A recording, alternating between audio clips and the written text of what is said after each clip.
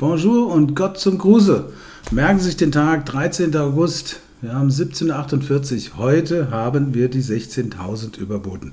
Ganz ehrlich, hätte ich nicht gedacht am 1.1. Hätte ich wirklich nicht gedacht.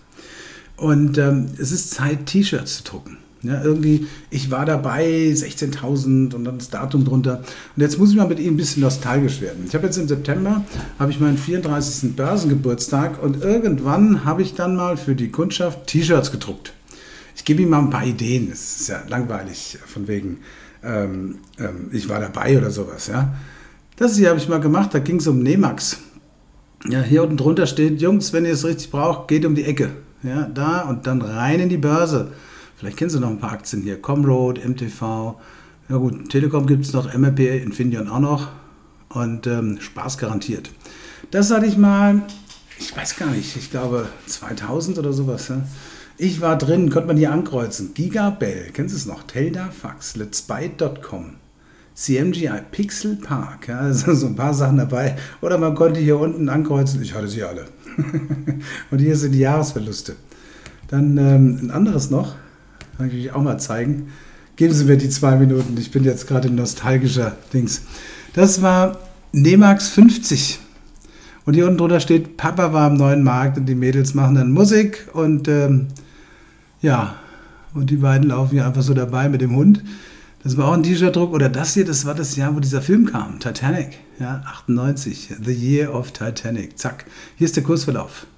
Sieht man nicht mehr so gut. Ich habe das schlecht fotografiert. Ich kann das nicht besser hinkriegen. Aber jetzt können Sie ja mal überlegen, ob einer ein schönes Muster hat für ein T-Shirt. Wenn sie gut sind, kaufe ich 10 Stück. Was wir heute gemacht haben, ist extremst widersprüchlich. Wir haben ja erstmal ein paar schicke Kerzen, schicke weiße Kerzen, alles soweit okay, insbesondere der Donnerstag.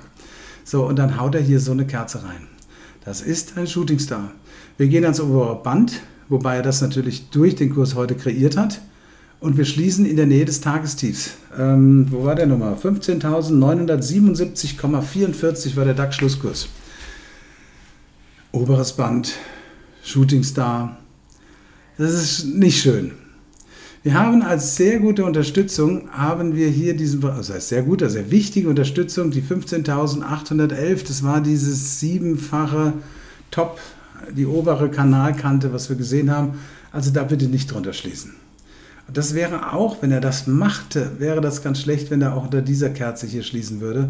Da wären wir nämlich bei 15.825. Ähm, also das möchte er doch bitte tunlichst vermeiden. Andererseits, rein vom Chart her, wir sind auf einem All-Time-High.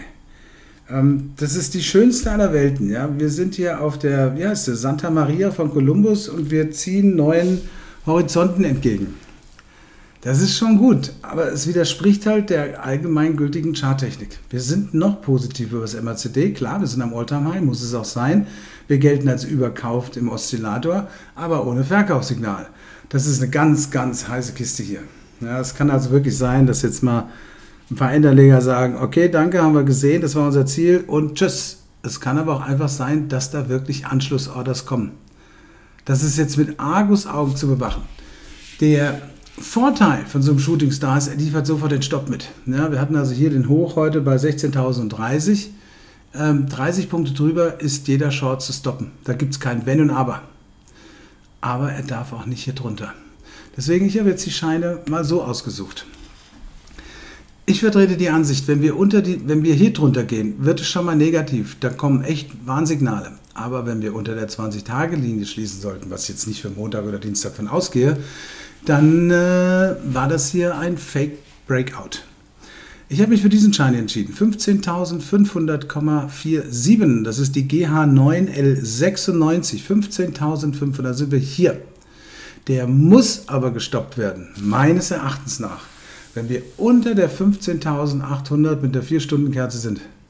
Also 15.000, sagen wir mal 770, da muss der gestoppt werden. Ich selbst möchte mir das erst jetzt mal aus einer sicheren Schlagdistanz ähm, anschauen. Short ein Put, da können Sie im Prinzip nehmen, was Sie wollen. Ja, ich ähm, das empfehle, ich werde wahrscheinlich sowas hier nehmen, 16.441. Das ist ein 34er Hebel.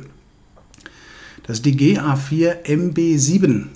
Aber nochmal, den werde ich stoppen, wenn wir 30 Punkte über dem heutigen Hoch von 16.030 sind. Also bei 16.060 muss der raus. Dann will der Markt einfach weiter hoch. Das ist eine super, super spannende Situation momentan. Also hier ist alles drin. Ich kann noch nicht mal sagen, ich bin super negativ. Ich kann aber auch nicht sagen, ich bin absolut positiv. Ich, möchte, ich muss den Montag abwarten. Ja.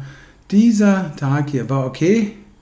Vor allen Dingen in dem Moment, in dem wir darüber gegangen sind. Das waren, ich mag das nicht zu sagen, aber relativ sichere Punkte hier drüber. Aber momentan, heute und jetzt, am Freitagabend, ich möchte gerne den Montag abwarten. Ich wünsche euch ein Happy Trading und fette Beute. Bye bye.